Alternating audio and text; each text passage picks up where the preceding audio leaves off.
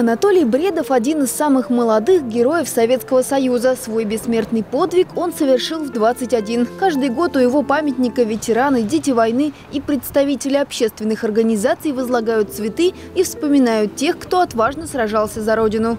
В те годы которые можем, в те дни, которые можем, внимание уделять не только перед Днем Победы, а постоянно. А самое главное для ветеранов – это, конечно, внимание. Ну и, конечно, нашим ветеранам э, низкий поклон за то, что мы живем в свободной стране.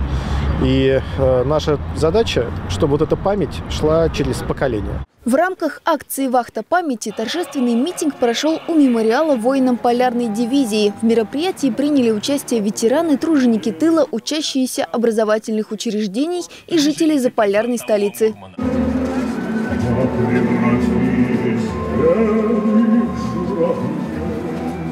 Предпраздничные дни без внимания не остается ни один подвиг, ни одно памятное место в городе. Десятки северян принесут цветы к братским могилам на Мурманском городском кладбище, а также к мемориальной доске, посвященной Магомету Гаджиеву. Александр Клепцова, Кирилл Грапеняк, Александр Грачев, Максим Чинкин. ТВ-21+.